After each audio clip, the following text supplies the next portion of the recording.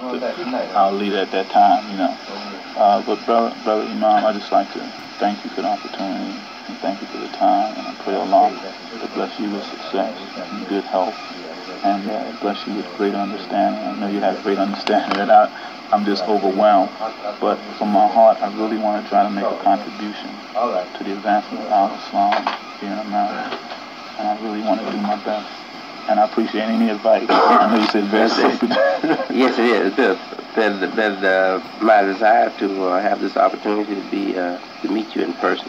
Okay. Uh, and as I said, uh, uh, the, uh, the presentation that you made, uh, in my opinion, is uh, very, very impressive. Uh, and I do believe that uh, you are not, uh, uh, you are not uh, given uh, your uh, good wishes uh, to uh, the secret orders No. but you you're trying you're trying to uh, uh, bring bring them to question Yes. the uh, the, the value of secrecy, the the the, um, the legitimacy of secrecy as they as they practice it, and um, I think it, to that extent you're serving the religion, you're serving the interests of the Muslims, you know. Um, uh, but as I said, that because of the, the, the, the this very sensitive issue of uh, secrecy, masonry, and uh, believe truthfully with you, uh,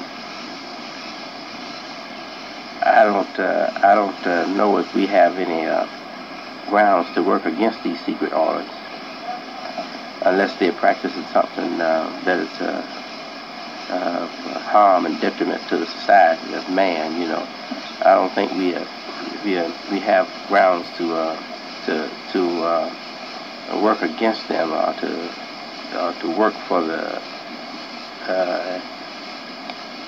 end.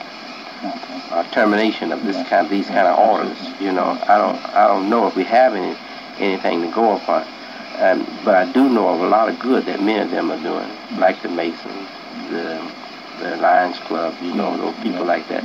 They do a lot of good, um, but at the same time, um, we we can't, as Muslims, we can't uh, uh, join them in secrecy. Okay. We can't join them in secret in secrecy unless it is the kind of secrecy that is approved by the Word of God and the Yeah. Quran for Muslims, you know. And you know what Allah says in the Quran that most secret secret uh, meetings for secrecy are of no good. Yeah. Um, uh, and the only ones that are that are uh, worthy of uh, recognition, good recognition, are those where men come together uh, to promote good in society, to promote righteousness in society, to promote fair dealing between men. Yes. So that tells us that uh, we can have secret meetings, Yes. But our secret meetings must have nothing in them that would be uh,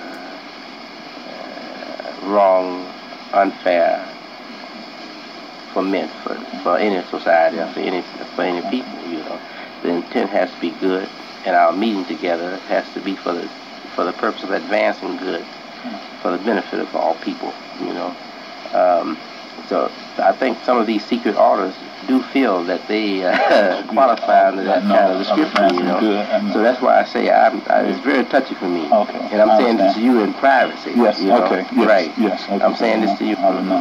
Yeah. No word. No word. All right. Okay. Uh, uh, but you can publish that you met with me, Okay. and, I uh, appreciate that. and I wished you well. I, I appreciate that, brother. Imam, and Thank you very much.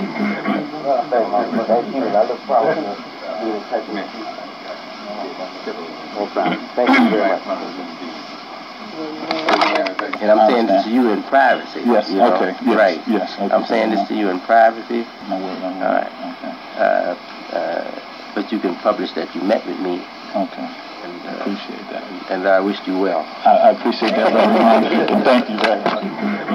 Thank you. Thank you. I look forward to being in touch with you.